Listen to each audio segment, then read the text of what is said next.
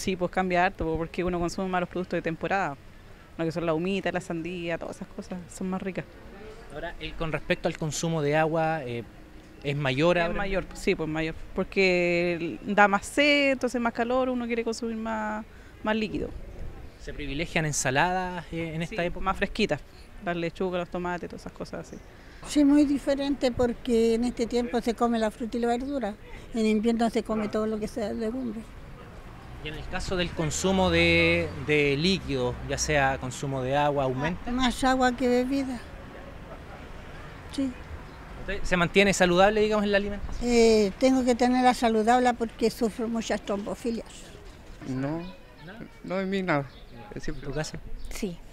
Sí, porque igual en invierno se consume más comidas fritas como sopaipillas, calzones rotos. Más calórico. Sí, más calóricas. Además yo creo que eso que se come por el tema del frío, igual. Pero Con- Con respecto a el consumo de, en este caso, frutas de temporada o mantenerse hidratado, eh, suelen consumir más agua. sí, en verano se debe consumir más agua y más por el consumo de la fruta. Además, un ejemplo, en invierno no se encuentra la sandía ni el melón, por así decirlo. O los arándanos, las frutillas, lo- la cereza. Entonces aumenta más el consumo de fruta. ¿En tu casa? Igual. Claro que sí, Sí. sí, porque eh, hay más fruta, así que como mucho fruta, vegetales, ya se comen más ensaladas, otro tipo de Más fresca. más fresca, sí, sí. En invierno no, porque ya ahí ya tenemos que comer más los guisos, ¿no es cierto? Eh, las carbonadas, lo que es las pancutras, cazuelas, eso.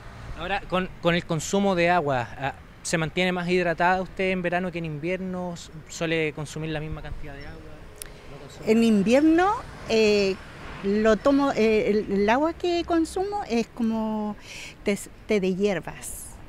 Y en verano ya tomo más agüita así fresquita, natural. Eso. Gracias.